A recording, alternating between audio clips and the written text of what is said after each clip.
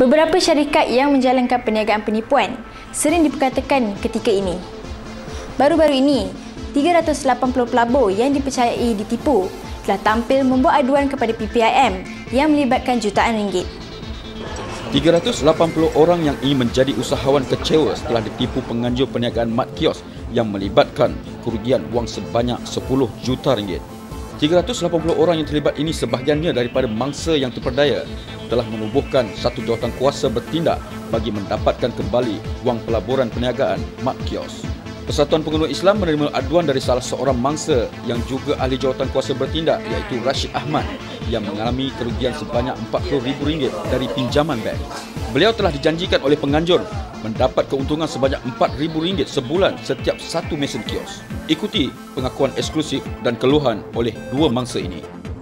Uh, saya masuk ke dalam uh, uh, investment ni ya, pelaburan mat kios uh, multi automated machine ni pada tahun 2007 uh, 20 hari bulan Oktober. Ya. Syarikat GMC utama. Uh, Direkturnya ialah Michael Tan, Eng Ju, Alex Eng, Sandip Griwal dan Rico Chin. Pelaburan saya RM21,580. Saya pinjam melalui kredit kad. Ha? Pinjaman bank. Saya menggunakan empat kredit kad. Saya ada pinjam along dan bayar balik pada bank Maybank. Saya kena bayar faedah. Kaedah uh, faedah itu kadar kadar faedah itu tinggi ya. Janjian uh, pelaburan ni adalah uh, 4000 hingga 10000 sebulan. Ha, sampai sekarang tak dapat satu benda pun eh. tak ada wang kembali tak ada mesin. Ada orang yang bayar penuh cash dia pun tak dapat. Ti, uh, kami dah buat report uh, report polis tapi tiada tindakan dari pihak polis. Ya IO tak ambil statement lah. Dia kata kes ini tutup tapi tak bagi dia punya alasan.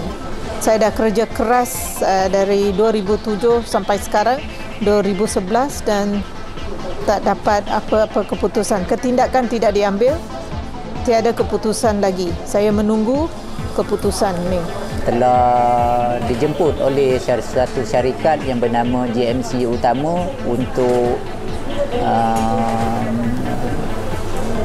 buat usaha sama, pelaburan usaha sama dengan syarikat ni iaitu sebuah mesin membeli mesin sebuah mesin dipanggil Mike Kios.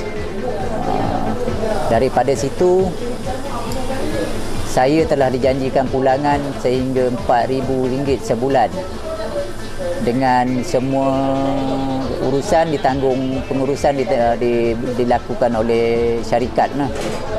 dan dengan itu syarikat telah mengaturkan pe, pe, duit apa yang harus untuk saya laburkan sebanyak 46,000 lebih kurang macam tu lah so 33,000 melalui duit tunai dan 13,000 lagi melalui pinjaman dua buah bank uh, Ion Bank dan CIMB Bank.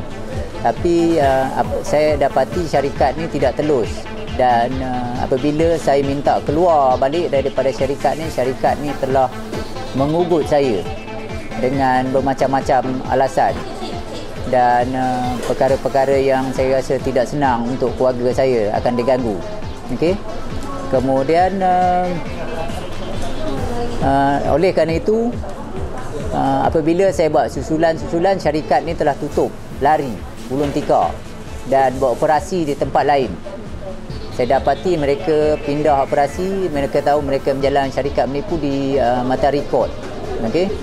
Oleh itu saya telah kerugian dan uh, pada uh, dengan uh, duit saya lebih kurang 40,000 lebih lah dekat 50,000 kita telah buat laporan polis tapi malangnya uh, perkara ni polis pegawai penyiasat tidak mahu berjumpa dengan kita.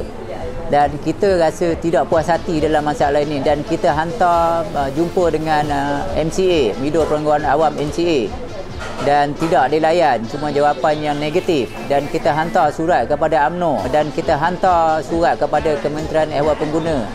Kita hantar lagi surat uh, kepada Menteri Dalam Negeri. Agak malang juga jawapannya dan kita berbincang dan uh, ber, ni, uh, dengan uh, KP Sidingke punya orang uh, di Putrajaya sebanyak tiga kali. Agak mengecewakan tak ada jawapan yang uh, munasabah. Dan pada masa ini kita bekerja dengan PPIM Persatuan Pengguna Islam untuk menyelesaikan kes ini. Sebab uh, syarikat ni dan direktor yang yang ini membuat uh, penipuan melalui syarikat-syarikat yang lain. Tutup satu syarikat, buat syarikat yang lain. Tutup satu syarikat, buat syarikat yang lain. Adakah ini satu kerja yang bagus untuk rakyat Malaysia yang sehat? Dan cuba kita fikirkan, berapa lama lagi rakyat Malaysia yang akan tertipu? Uh, kami daripada PPIM uh, menerima laporan ini dan kami dari pihak PPIM dengan sedaya upaya akan cuba menyelesaikan masalah ini dan secepat mungkin dan kami PPM menasihatkan uh, semua para pengguna yang ingin masuk ke dalam program tersebut berwaspada selalu dan semak dengan PPM terlebih dahulu. Pengguna bolehlah melaporkan sebarang aduan kepada Persatuan Pengguna Islam Malaysia di talian dan alamat yang dipaparkan.